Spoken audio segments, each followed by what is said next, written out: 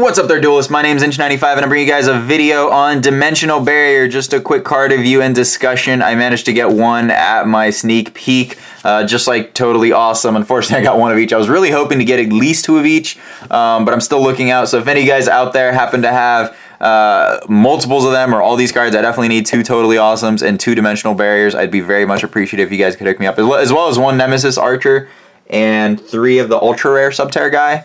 Um, yeah, those are cards I really want to pick up. But today I'm going to be talking about Dimensional Barrier and why I think it's a pretty solid card. I think this is probably going to hold more value, like in general. Um, it'll probably drop once the set releases a little bit more than likely, just because it'll, you know, there'll be more in in, uh, in supply, uh, despite demand probably still holding quite high for the card. Uh, obviously, as supply increases, demand, even if it holds, you know, the, the same, even if demand is at the same point, uh, the value will probably drop a little bit uh, or at least a, a little fair amount. Uh, same thing with Totally Awesome. I think obviously when this comes out, I talked about that in my last review. But today, as far as Dimensional Barrier, I think it's a really strong card, particularly in something pa like Paleozoics, which is what I really want to do use it in, just because it is a normal trap card. Um, I actually thought it was originally supposed to be a counter trap, and I was wrong, and that really got me excited for this card because uh, something like this, you know, anytime you get a strong normal trap card, it's something that you can play and have it be vi viable in Paleozoics because obviously they all trigger uh, when it, or you can trigger them rather, when a normal trap is activated. In this, it's almost like a mini floodgate card. So if you don't know what it does by this point, it's basically just declare a monster type, so Ritual, Fusion, Synchro, XYZ, or Pendulum. And then basically for the rest of that turn, neither you or your opponent are actually able to special summon those types of monsters or that declared, de declared type and you can't even use the effects of those types of monsters. So like if your opponent has uh, you know, a board full of five pendulum monsters, or like let's say two pendulum monsters, uh, and you activate this and you call pendulums, they're not going to be able to use those pendulum monsters effects, and they're not going to be able to pendulum summon for the rest of the turn. Similarly, if you're playing against something like Burning Abyss, and you flip this and you name something like XYZs, well, all their XYZs are going to be shut off, and they're not going to be able to XYZ that turn, so they're not going to be able to Dante, Beatrice, uh, against Phantom Knights, or just in that deck, they're not going to be able to go Break Sword. Uh, just it's really really solid against a lot of decks. Uh, I think it's a very interesting card because we haven't really had too many floodgates in Yu-Gi-Oh! where they're like single turn floodgates. Uh, I think the best example of like a single turn floodgate that I can just think of off right, right off the top of my head is something like Trap Stun. That's a very good example of a card that's very similar to Dimensional Barrier and how it operates where it's a normal trap, you flip it, and it pretty much shuts off a, a given game mechanic for that turn for both players. Obviously, Trap Stun shuts off traps. Dimensional Barrier, you can pick what type of monster effects you'd like to shut off. Um, but I think it's a really cool card. I think it's more than likely, I mean, I'm going to try maybe running it in the maybe as like one of in my main deck or two of in my main deck for Paleozoics. I definitely don't think it's going to be like a staple three of in the main deck or anything like that because it still is a trap. It is still slow. Um, and, and the thing is, if you draw it against an established board, like, yeah, you can shut off their monster effects, but if you shut off your effects in the process and there, you know, if you have like reactive effects, something like totally awesome, uh, or multi-trigger effects like totally awesome on your board, or just anything, any of your monsters like synchros or exceeds, and you happen to call the same thing, your monsters aren't going to be able to use them. So it can be a double-edged sword. It doesn't come up as often. It can be quite powerful, though, in the same sense, just like Trap Stun, uh, where you can just lock your opponent out of the game and just win, especially if you do it preemptively uh, or if you know, like if you're you're baiting them into doing some kind of play and they just have no other line of play to win. Um, but I think it's a really strong card because like it's one of those things where like it's a it's it's like a one turn floodgate literally for any type of monster effect that you would want to stop because you can set up your board, set this, and if you're playing in some kind of mirror match, you can activate this card.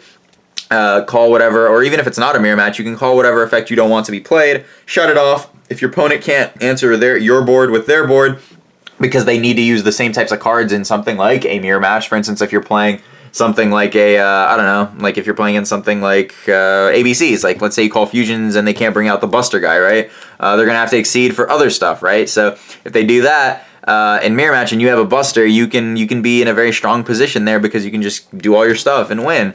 Uh, same thing with BA. You can have all your BA, you know, XYZs, your Dantes, and all the other stuff that you make with your Xyz, and then you can just do this on their turn in a mirror match against PK or BA or some kind of combination of those decks, and literally just win because your opponent has to use those same cards that you're probably using or similar cards to answer your board. And when they can't do that, you just win on the following turn.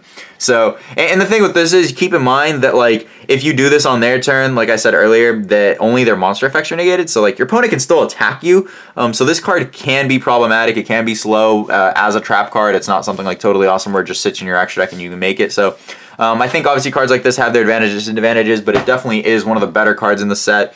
Um, I'm not sure. I think it'll. I think it'll slowly, like it'll drop just a little bit in value when the set is released, and there's a lot more in, in the market. Personally, when the market's a little bit more flooded with them. Uh, but I think it's it's probably going to hold value a little bit longer than something like Totally Awesome. That's just my personal opinion. I could be wrong. Um, but I don't think, like right now, I probably wouldn't be paying more than like 50, 60 top, if that, for this. Um, I know for Totally Awesome, I think I probably wouldn't be paying more than 50 on during the week before the set's actually released. And that's like if you really wanted to get the cards. Um, hopefully I can get two more of these. If you guys can hook me up with some dimensional barriers, that'd be very much appreciated because I definitely need cards to profile stuff and it's really problematic because obviously dueling network isn't a thing and uh, I can't seem to get YGO Pro and Dev Pro to work correctly. So um, and I don't like proxying cards. And as a YouTuber, it, like proxying cards is something you just hate, especially if you're doing real life deck profiles. If it's something small and like quick, it's no big deal. But uh, something like this, people don't really like it when you proxy stuff like this. So uh, yeah, it is what it is. It's a cool card. I think it's definitely more of a side deck card than anything else because the reality is if you, it's it's it's I almost compare it kind of like how uh, Cherries is right now. Some people are putting it in the main deck, and it's one of those cards that can win you, especially you know games very quickly if the the game, let's say, is flooded with a ton of ABC decks right now, right?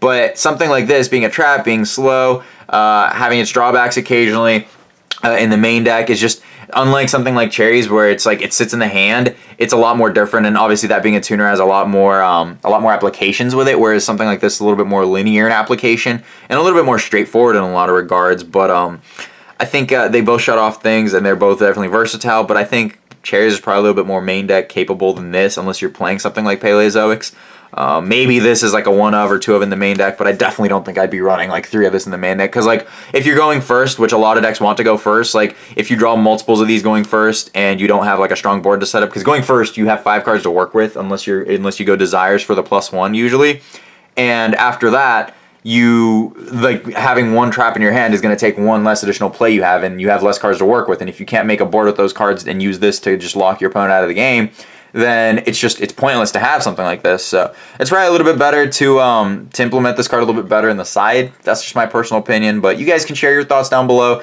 Again, if you guys have either of these cards, uh, the Ultra Rare Subterror and a single Nemesis Archer, I'd be very much appreciated if you guys can hook me up with those. Hit me up on Facebook or Twitter. I really want to pick them up so I can profile some decks for you guys. Um, I'm pretty sure I don't really need much else. Oh, and I need like a crystal wing, but that's not like a big like major thing right now. If I can get a crystal wing dragon, that'd be awesome. Um, hopefully I can, you know, do like a quick recap of all the stuff I got. Um, I did pull like some other cool stuff, like I pulled the Venom Dragon, I pulled like two Nemesis Archers. Um, unfortunately, and I pulled the Alkahest guy, the, the Metal Foes Fusion, but unfortunately I think a buddy of mine wants that. Um, so I don't know, I pulled all the wrong secrets. I haven't pulled a single one of these myself, so yeah, it sucks, but uh, what are you going to do, right? So follow me on my social media guys down below. I'll see you guys. Peace out. And that has been a recap of Dimensional Barrier, my thoughts and opinions on it. And uh, yeah, see you guys. Have a good one and have a great rest of your week.